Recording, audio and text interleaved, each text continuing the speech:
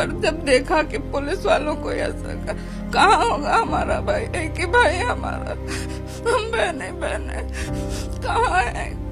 कैसा होगा? नाक में, नाक की हड्डी टूटी है। सिर में इतने टाके लगे हाथ की हड्डी ये पत्थर मार मार के इसकी हड्डी तोड़ रखे सिवाय भगवान के प्रार्थना करने के अलावा और कुछ और कुछ सूझ ही नहीं रहा था मुझे तो बस किसी तरीके से मेरे भाई सही सलामत आ जाए अपने बच्चों की खातिर। बस यही एक दिल में बस प्रार्थना। हम उस पीड़ित चश्मदीद परिवार के साथ हैं, जिन्होंने पूरा घटनाक्रम उनके जब परिवार के सदस्य के साथ हुआ तो आज वो हॉस्पिटल में हैं और लगातार भगवान का शुक्रिया अदा कर रहे हैं। लेकिन उस समय उनके दिमाग में और आज वो मंजर आज भी नहीं निकल पा रहा है। जानेंगे क्या था कैसे पता चला आप लोगों को?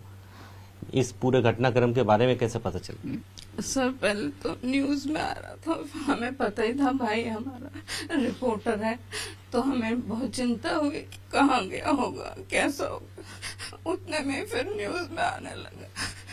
फिर उसका पता नहीं कैसा होगा क्या होगा कहाँ है फिर हमने कहा तो सामने पर जब देखा कि पुलिस वालों को ऐसा कहा होगा हमारा भाई? एक ही भाई हमारा।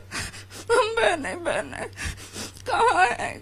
कैसा होगा? फिर पता चला, हॉस्पिटल में है, फिर पता चला, टाँके आए हैं। फिर हम परमिशन देख रहे थे कि हम गाड़ी से जा सके, जिला अस्पताल बेस आ गया था ये। फिर देखने के लिए पूरे इसके नाक में नाक की हड्डी टूटी है। सिर में इतने टाके लगे हाथ की हड्डी ये पत्थर मार मार के इसकी हड्डी तोड़ रखे हैं। पीठ में सब लगे इसके रिब्स भी टूटे हैं। भगवान ने बचा दिया।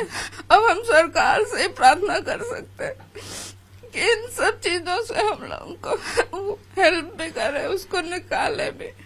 और ये हिंदू मुस्लिम का क्या है? भगवान जाने क्या नहीं है।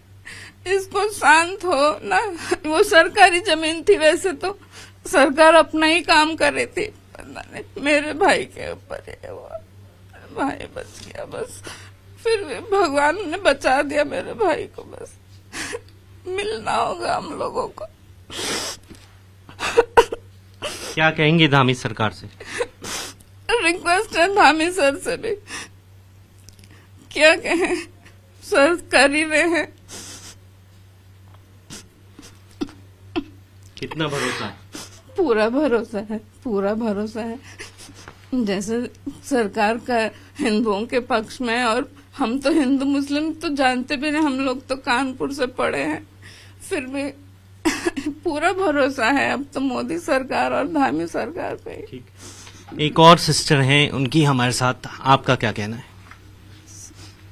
क्या रहा, कैसा वो समय कैसा था? वो बता नहीं सकती। नहीं बता सकती।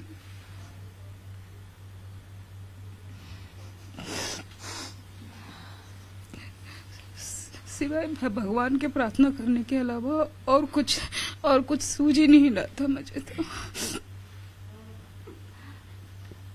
बस किसी तरीके से मेरे भाई सही सलामत आ जाए अपने बच्चों की खातिर। बस यही एक दिल में बस प्रार्थना थी भगवान से बस। कैसे पता चला पूरा घटनाक्रम मुझे तो अर्ली मॉर्निंग न्यूज़पेपर मैंने जैसे ही ओपन किया बस सबसे पहले इसकी फोटोग्राफ देखी मैंने फिर तो मेरे होश ही उड़ गए। दहशत तो थी दिल में कि ये फोटोग्राफर है ये वहाँ फ़ील्ड में गया होगा वहाँ क्या कर रहा होगा है ना? लेकिन कुछ समझ में नहीं आया। बस। कैसी अपेक्षा रखती है सरकार से उपेक्षा तो यही है कि वो उसको उसकी मदद करें उसकी सहायता करें। जो कुछ भी उसका नुकसान हुआ है उसका पूरा करें बस। एकमात्र मेरा भाई है उसका ऐसा कोई इतना बहुत बड़ा रोज़गार तो है नहीं बस जो थी इसकी रोजी रोटी इसका यही यही था फोटोग्राफी यही था न्यूज़ चैनल ही था है ना? तो मैं यही चाहती हूँ कि उसका बस उसकी फैमिली उसका वो सब कुछ स्टैब्लिश हो सके वो। दोबारा से उसका सब कुछ वापस हो सके। आप छोटी बहन हैं आपका क्या जी, वाइफ हैं? आप क्या क्या कहना है आपका? आपको कैसे सूचना मिली? मुझे मुझे मेरी मम्मी ने बताया सर। मम्मी ने बताया कि उनको चोट लगी मैंने हल्की चोट लगी बोला मम्मी ने ये नहीं बोला कि ऐसा कुछ हुआ है। मुझे फिर दूसरी बार दीदी का फ़ोन आया कि तू चिंता मत कर तू चिंता मत कर। फिर मुझे टेंशन हो गई मैंने कहा सब कह रहे चोट लगी है चोट लगी है। फिर मेरे को जिया जी ने बोला कि तुम चिंता नहीं करो चोट लगे फिर मैं कैसे न कैसे मैंने अपनी दीदी को फ़ोन किया लॉकडाउन वो कर्फ्यू लग गया था कैसे जाऊँ फिर दीदी लोग आए वो लेके गए मुझे। बच्चों छोटी सी बच्ची है ढाई साल की छोट बच्चों को छोड़ के तीन बच्चे बच्चों को छोड़ के मैं अकेले आई। बच्चों को पता है कि क्या नहीं हुआ है? अभी नहीं बताया। मम्मी की भी तबीयत सासू माँ की भी तबीयत ठीक नहीं उनको भी नहीं बता रखा है। उनको बस ये बता कि हाथ में हल्की चोट लगी है। क्या धामी सरकार की अभी तक की बस ये ये बस जितना हो सके हमारी मदद कर दीजिए बस। क्योंकि एक मेरा पति अकेला ही है कोई करने वाला नहीं मेरी सासू माँ की भी तबीयत ठीक नहीं उनका भी, भी हार्ट का ऑपरेशन हुआ है। छोटे छोटे मेरे बच्चे हैं छोटी सी बच्ची को छोड़ के मैं चार दिन से अकेला यहाँ पड़ी हूँ। किसी से कोई मदद किसी से कोई कुछ नहीं। एक दीदी जी जी लोग जो मेरे सपोर्ट में खड़े हैं। चार दिन से कैसे खड़ी पड़ी हूँ मैं जानती हूँ। मेरी बेटी वहाँ रो रही है और ठंडे में बच्चे बेटे का परीक्षा चल रही है वो अलग उनको टेंशन नहीं दे सकती हूँ घर की। बस जितना भी हो सके मेरे पत, मेरे पति की मदद कर सके। देखिए, ये एक पीड़ित परिवार है और ऐसे ना जाने कितने सैकड़ों परिवार हल्द्वानी में हैं जो उस दंगे से पीड़ित हुए और न जाने कितने लोग छः से सात लोगों की मौत भी हुई है। तो उनका हाल क्या होगा?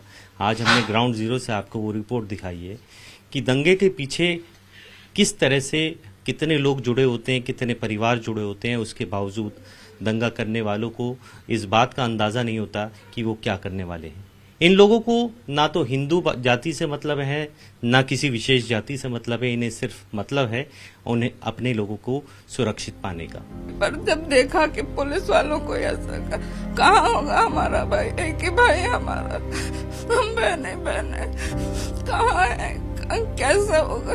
नाक में, नाक की हड्डी टूटी है, सिर में इतने टाके लगे हाथ की हड्डी, ये पत्थर मार मार के इसकी हड्डी तोड़ रखे सिवाय भगवान के प्रार्थना करने के अलावा और कुछ और कुछ सूझ ही नहीं रहा था मुझे तो।